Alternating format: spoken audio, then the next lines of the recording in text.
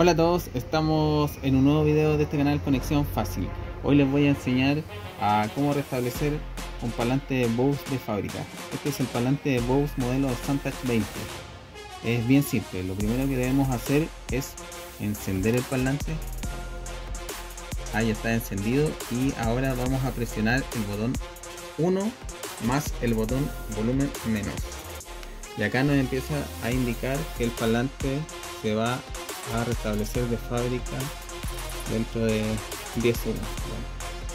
1, Eso sería todo. Saltamos y ahí se va a empezar a reiniciar este parlante.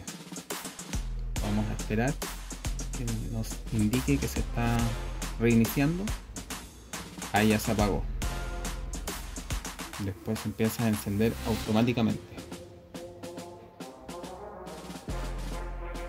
Y eso sería todo. Una vez que, termine de, de reiniciarse va a quedar iniciado de fábrica. Eso sería todo por hoy. Muchas gracias